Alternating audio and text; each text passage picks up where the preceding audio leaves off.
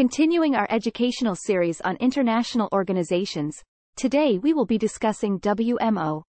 The World Meteorological Organization, WMO, is a specialized agency of the United Nations responsible for promoting international cooperation on atmospheric science, climatology, hydrology and geophysics. The WMO originated from the International Meteorological Organization, a non-governmental organization founded in 1873 as a forum for exchanging weather data and research. Proposals to reform the status and structure of the IMO culminated in the World Meteorological Convention of 1947, which formally established the World Meteorological Organization in 1950.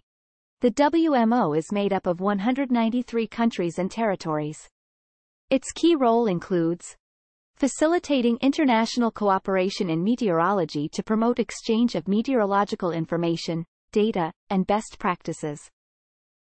2. Setting standards for weather observation and monitoring including guidelines to ensure that data is accurate, comparable, and useful for a wide range of applications.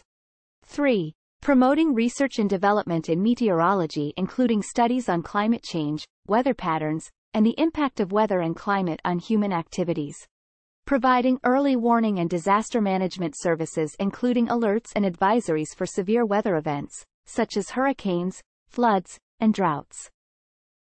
Headquartered in Geneva, Switzerland, the WMO is governed by the World Meteorological Congress, composed of member states, which meets every four years to set policies and priorities.